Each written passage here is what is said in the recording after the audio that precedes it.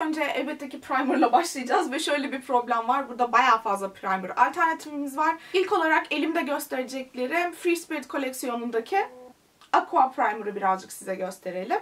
Yapı olarak içlerinde en ilginci bu ve etkisini fazla göremediklerimden. Yeşil mint yapısında bir jel şeklinde geliyor.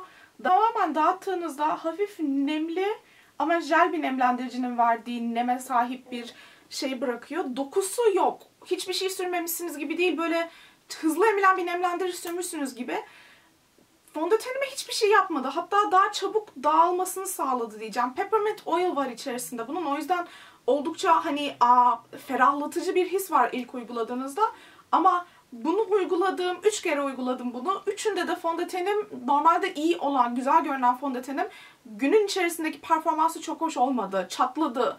Yani nemlendirici arkasındaki açıklamaya baktığınızda hepsi böyle nem oluşturmakla falan ilgili ama bayağı kuruttu benim makyajımı. O yüzden Flormar'ın Flawless Tone Up Cream diye bir emi var yine bu koleksiyonda. Makyaj yapmak istemediğinizde tüm yüzünüzün etkisini birazcık daha sanki nasıl diyeyim iltifat edecek şekilde yüzünüze.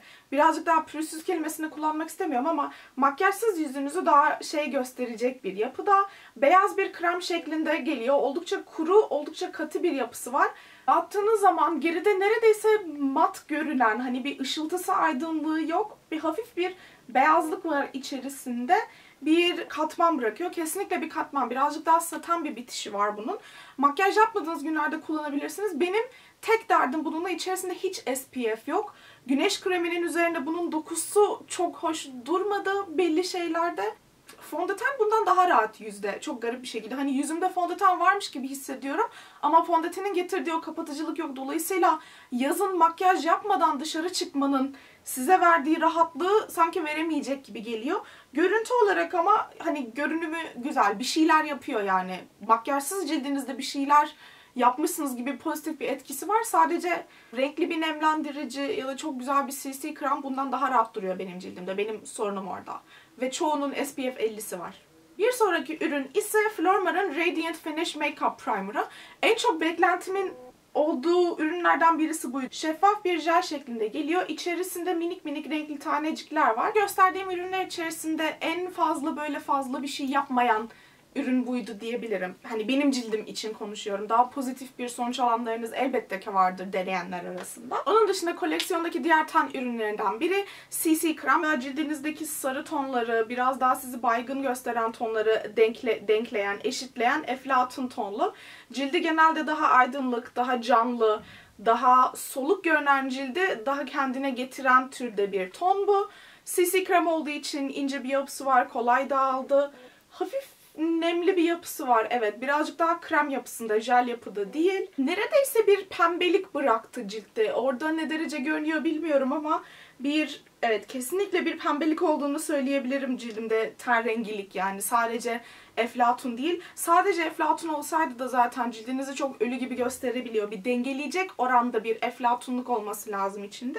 Yapısı hoşuma gitti açıkçası bunu. Bir sonraki benim en sık kullandığım çünkü aa, bahsedeceğim ürünler içerisinde en birazcık daha fazla bir şey vaat etmeyen, o yüzden de beni memnun eden bu aynı koleksiyon bünyesinde değil Flawless Complexion mı bu yüz ürünlerin olduğu koleksiyondaki Illuminating Makeup Primer Plus benim kullandığım.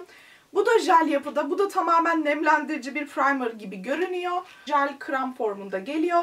Dağıttığınız zaman aynı yine jel nemlendirici dağıtıyormuşsunuz gibi. Aydınlık verici bir etkisini görmedim ama nemlendirici bir baz olarak kullanıyorum bunu. Ve birazcık daha emilip daha satenimsi bir sonuç bıraktı ama hala bu hafif yapış yapış olduğu için fondötenin altında çok güzel duruyor. Ben baz olarak iki ürün kullanacağım. Bir tanesi az önce gösterdiğim Illuminating Makeup Primer Plus ürününü kullanacağım. Birazcık daha aydınlatıcı olduğu için bu. Çok aydınlanmış hissetmiyorum ama güzel bir baz oluştu şu anda fondöten gibi bir şey için. Baz olarak kullanacağım bunu ama aslında baz değil. Flawless Tone Up Cream bu. Flawless Tone Up Cream'i kullandım. Yakından baktığınızda gördüğünüz gibi herhangi bir bir şeyi kapattığı ya da bir pigment var diye söylenemez. Tam tersine birazcık daha aydınlık gösterdi cilde.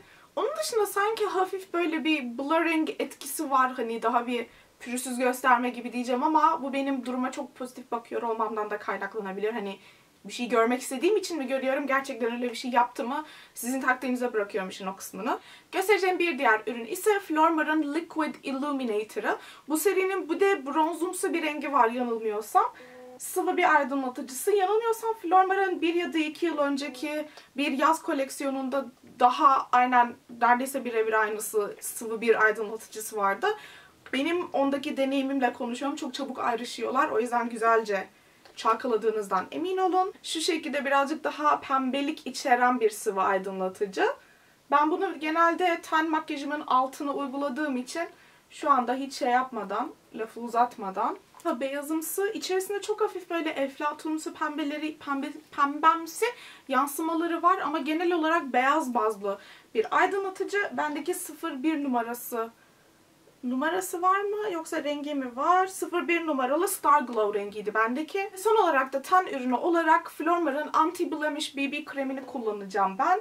Bunu yaklaşık 2 aydır, 2-3 aydır kullanıyorum. Hatta bitirmek üzereyim. Yedeğini almayı planlıyorum. Hiç beklemiyordum bu kadar sevmeyi. Gerçekten çok hoşuma gitti. Çünkü cildimde ilk uyguladığımda da öyle. Sonrasında da öyle kelimenin tam anlamıyla hiçbir şey yokmuş gibi duruyor ama hani o kapatıcılığı o şeyi veriyor benim cildime. Ben bunu elimle uyguladığımda oldu. Şu şu anda yaptığım gibi ilk başta kabaca bir fondöten fırçasıyla uygulayıp daha sonra süngerle uyguladığımın büyük bir kısmını alıyorum cildimden. Zaten o şekilde inanılmaz doğal görünüyor benim cildimde.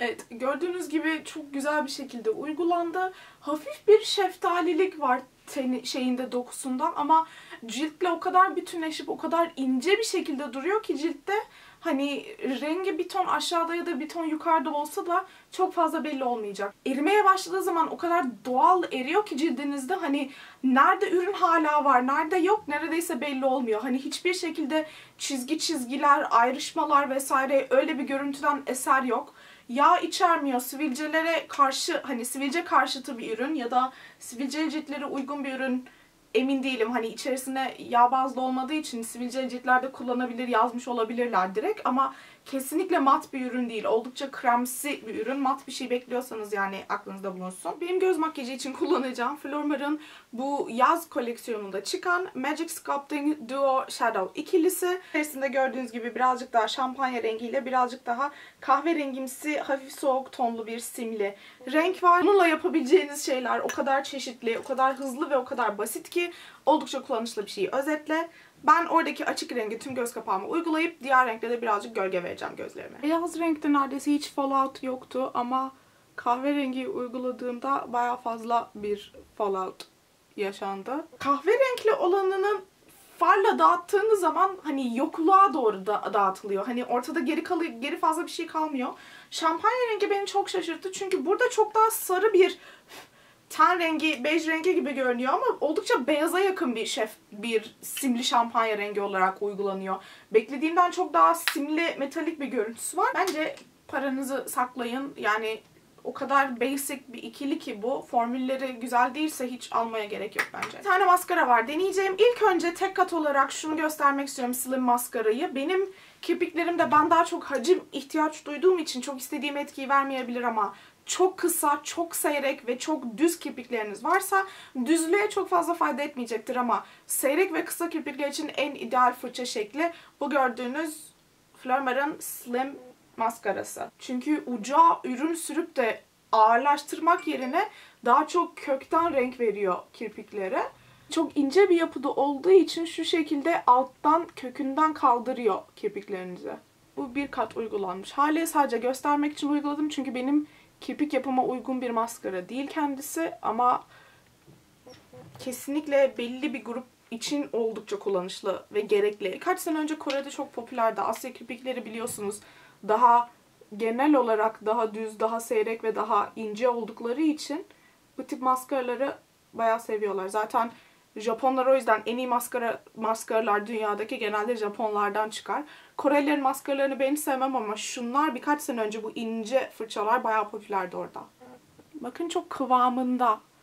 hiçbir yere bulaşmadan çok güzel uzunluk verdi, belirginleştirdi ama çok fazla ürün dağıtmadığı için hiç ağırlaşmadı kirpiklerim. Dolayısıyla oldukça hoş görünüyorlar. İkinci kat maskara için bu All My Lashes, OM Lashes serisinin Fan Effect maskarasını kullanacağım ben. Bunun fırça ucu benim bir zamanlar çok sevdiğim Max Factor'ın Clump Defy miydi? Öyle bir tane maskarası vardı.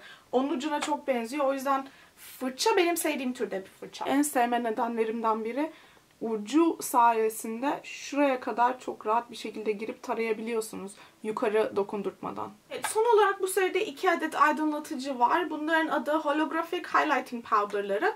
Bendeki renkleri zaten iki renginde aldım. 01 Radiant White ve de 02 Rosy Gold adında. Bu içerisinde birazcık daha mavi yansımaları olan tonda bir Midnight falan böyle içerisinde kameraya doğru düzgün yansıyamıyor. Aslında oldukça güzel parlıyor ama ışık vurduğu zaman tamamen masmavi yansımaları var. Oldukça güzel bence. İkinci rengi ise açıkçası daha çok kullanacağımı düşünüyorum. Bir şeftali rengi ama altın ve şeftali karışımı bir renk. Alt tonu şeftali pembe ama ışıltıları kesinlikle altın renginde. Özellikle bronz tenliyseniz ve hala bu aydınlatıcıyı bir yerde bulabilirseniz kesinlikle bakmanızı tavsiye ederim. Birazcık daha sanki böyle duo, hani duokrom gibi değil tamamen duokrom da yapıları. Yansıma rengi farklı ve yansıma rengi ikisinde de çok güzel. Kamerada güzel parladığının farkındayım ama şöyle bakınca çok sarı geldi. O yüzden önlerine birazcık o maviliden koyacağım ben. Yapı olarak sanki şeftali rose gold olanı bu beyaz olanına kıyasla daha yumuşak gibi geldi bana. Diğeri sadece çok güzel bir renk ama bu birazcık daha benim rengim. Son olarak Flormar'ın bu yine yaz koleksiyonundaki Smoothie lipsticklerden bir numaralı Iced Blush rengini kullanacağım ben. Şu şekilde oldukça klasik de genelde bir tık daha krem rujların sahip olduğu yapıya sahip. Biraz daha soğuk tonlu bir pembe. O yumuşacık ama. Oldukça kremsi, oldukça yumuşak. Aslında neredeyse böyle ince ince demişim incimsi bir parlaklık var kendisinde. Glossçu değilimdir ama gösterme amacıyla aynı serideki lip glosslardan 03 Trendy Bikini rengi bende varmış. Bu birazcık daha sıcak bir renk olduğu için belki birazcık daha canlı gösterir dudağımı. Ruj üstüne sürmek için yapılmadığını düşünüyorum çünkü ruju siliyor ve fırçaya çok az ürün alıyor. Bir tık daha böyle güzel bir şeftalilik kattı dudaklara. Birazcık daha mentollü bir yapısı var. Dudağı hafif yakıyor hissi veriyor ama onun dışında benim aldığım renk oldukça orta tonlu. Her şeye gidecek, tek başına da kolay kullanabilecek. Evet, benim Flormar'ın son zamanlarda çıkan koleksiyonu hakkındaki düşünce koleksiyonları hakkındaki düşüncelerim bu şekildeydi. Birkaç parça aldım. Biraz oradan, biraz buradan. Açıkçası her koleksiyonun daha güçlü olduğu parçaları almaya çalıştım. Benim bu koleksiyondan kesinlikle kaçırmayın diyeceğim. Hani bulabilirseniz mutlaka alın diyeceğim koleksiyon ürünler. Bir kere bir numaralı ürün bu anti blemish BB cream de bu kadar hani seveceğimi hiç aklımın ucundan bile geçmezdi ve gerçekten hoşuma gitti yapısı. İkincisi eğer kısa ve seri kirpikleriniz varsa Slim Maskara hani illa Flormar'ınki olsun diye demiyorum. Sadece bu yapıdaki maskaralar kirpiklerinize çok daha hafif ve sizin kirpiklerinize daha iyi gidecek yapıda bir maskara olduğu için daha seyrek ve kısa kirpikli takipçilerim bulun bunları. Ve de bu yaz koleksiyondaki aydınlatıcıdan Rose Gold, Rosy Gold rengi altın renginde. Şampanya rengi, bej rengi demiyorum. Altın sarısı aydınlatıcı sevenler bu yapısı, bu, bu aydınlatıcıya kesinlikle bayılacaktır. Beyaz olanında mavi yansımaları var diye ben sevdim ama yapı olarak bu ondan daha yumuşak ve bunların dışında çok daha güzel aydınlatıcılar var ama renk olarak güzeldi bu.